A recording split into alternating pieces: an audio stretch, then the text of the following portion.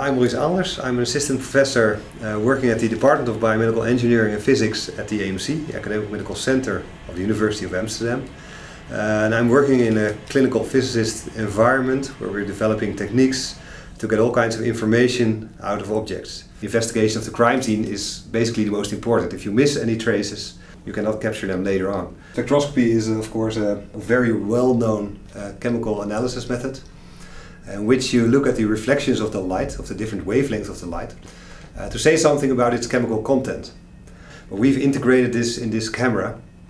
Uh, so what we're doing here is we're capturing crime scene. We're capturing the reflectance of all colors, going from the deep blue all the way to the infrared.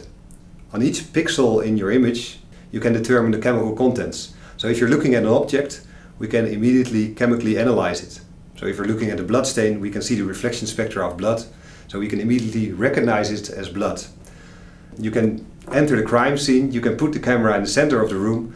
Uh, it looks around and it basically recognizes where there are blood stains uh, or other stains, um, a gunshot residue for instance. Uh, what the age of the different blood stains are. So this can be uh, of great help. There, currently there's no tool for aging of blood stains. Uh, spectroscopy is not done on the crime scene itself.